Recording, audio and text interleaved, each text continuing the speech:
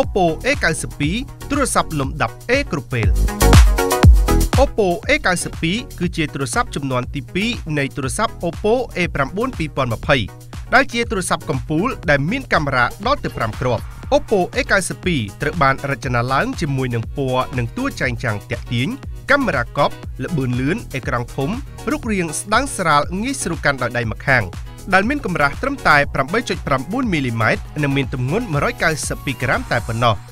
នៅផ្ទៃខាងក្រោយមានសភាពចាំងរលោងតាក់ភ្នែកពោលគឺរចនាបែបកញ្ចក់ហើយមានកាមេរ៉ាចំនួន4គ្រាប់តម្រៀបជួរបញ្ឈរនៅខាងឆ្វេងផ្នែកខាងលើមើលទៅរឹតតែតាក់ទាញចំពោះខាងមុខវិញត្រូវបានស្រោបដោយកញ្ចក់ប្រភេទ IPS LCD និងមានផ្ទៃអេក្រង់លាត90.5%ទំហំ6.5អ៊ីងដែលបង្ហាញរូបភាពបានច្បាស់ត្រជាក់ភ្នែកធម្មជាតិពិតៗ ក្នុងកម្រិត 1080p Neo Display ជាមួយកម្រិត Mod 405 ppi អមជាមួយបច្ចេកវិទ្យា AI Backlight Adjustment ព្រមទាំងបំពាក់បច្ចេកវិទ្យាការពារពន្លឺព្រះអាទិត្យ Sunlight Screen ដែលរឹតតែងាយស្រួលក្នុងការមើលអេក្រង់កាន់តែពេញចិត្តរីឯ speaker វិញក៏មិនធម្មតាដែរដោយវាបានបំពាក់ speaker ដល់ទៅ2 dual stereo speaker អមជាមួយបច្ចេកវិទ្យា Dirac 2.0ដែលអាចបញ្ចេញសំឡេងបានយ៉ាងល្អ សម្រាប់កម្លាំងម៉ាស៊ីន Oppo A92 បំពាក់មកជាមួយបន្ទះ chip Qualcomm SM6125 Snapdragon 665និងមាន GPU Adreno 610វារត់លើប្រព័ន្ធដំណើរការ Android 10ជាមួយផ្ទៃបង្ហាញចំនួនចុងក្រោយ ColorOS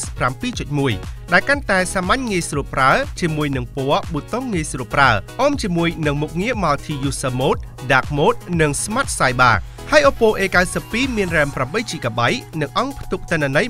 128GB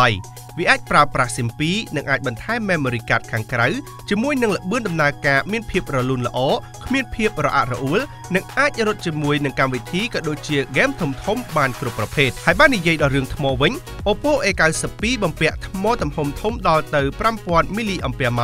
ដែលអាចស៊ូបានជាមួយនឹងការប្រើប្រាស់ធ្ងន់ធ្ងរដូចជា ការលេងហ្គេមធំធំ ការប្រើប្រាស់ប្រចាំថ្ងៃបានកាន់តែយូរអមជាមួយនឹងបច្ចេកវិទ្យា Flash Charge ជាមួយនឹងក្បាលឆ្នាំងសាក18វ៉ាត់ទៀតនោះ វាជួយឲ្យការសាក់ថ្មរហ័សទាន់ចិត្តនិងមិនឡើងកម្ដៅខ្ពស់ក្នុងពេលសាក់ថ្មទៅលើរចនាប័ទ្មអេក្រង់វិញគឺបំពាក់កាមេរ៉ាទម្លុះអេក្រង់ដែលជាកាមេរ៉ា selfie សាហាវជាងមុនចំជំនាញតែម្ដងហើយក៏ត្រូវចិត្តអ្នកប្រើក៏ដូចជាយុវវ័យផងដែរសម្រាប់កាមេរ៉ានៅខាងមុខនេះ មាន lens ទំហំ16 megapixel មានកម្រិត aperture 2.0ជា lens wide ដែលអាចថត portrait ថត night selfie នៅទីងងឹតបានយ៉ាងច្បាស់មិនបារម្ភពីពន្លឺមិនគ្រប់ថតមិនស្អាតនិងអាចថតវីដេអូបានដល់ទៅកម្រិត 1080p 30 frame per second ហើយកាមេរ៉ាខាងមុខនេះក៏ដើរតួជាកាមេរ៉ា scan មុខដោះសោផងដែរបន្ថែមពីលើមុខងារ scan ក្រយ៉ៅដៃដោះសោនៅផ្នែកចំហៀងទូរស័ព្ទដែលមានល្បឿនលឿនត្រឹមតែ0.3វិនាទីតែប៉ុណ្ណោះចំពោះកាមេរ៉ាខាងក្រោយវិញរឹតតែមិនធម្មតាដោយ Oppo A92 បំពាក់កាមេរ៉ាក្រោយចំនួន4គ្រាប់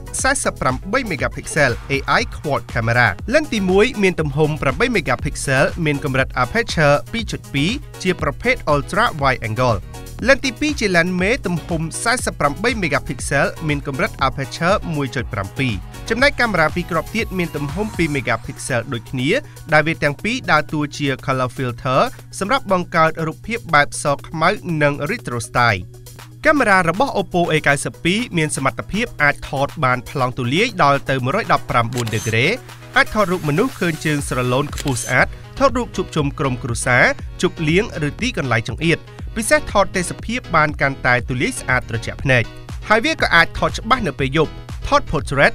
expert panorama time lapse និង slow motion ជាដើម Oppo ក៏បានបន្ថែមនៅមុខងារពិសេសពិសេសមួយចំនួនដូចជា AI Beautification ជំនួយដល់ការថតកាន់តែស្រស់ស្អាតរីឯវីដេអូវិញ Oppo A92 អាចថតបានក្នុងកម្រិត 4K 30 frame per second 1080p 30 frame per second អមជាមួយបច្ចេកវិទ្យា EIS Anti-Shake សម្រាប់ជំនួយដល់ការទប់លំនឹងកាន់តែប្រសើរអញ្ចឹងទាំងអស់នេះគឺជាអ្វីដែល Oppo A92 ទូរស័ព្ទលំដាប់ A គ្រប់ពេលអាចធ្វើទៅបាន រូបរាងស្រស់ស្អាតកាមេរ៉ា48 megapixel AI quad camera កម្លាំងម៉ាស៊ីនខ្លាំងធម្មពលថ្មប្រើប្រាស់បានកាន់តែយូរត្រូវចិត្តសម្រាប់យុវវ័យសម័យថ្មីនិងអាចនិយាយបានថាជាជំរើសដ៏ល្អមួយក្នុងកម្រិត smartphone ដែលមានតម្លៃក្រោម300ដុល្លារនេះ។។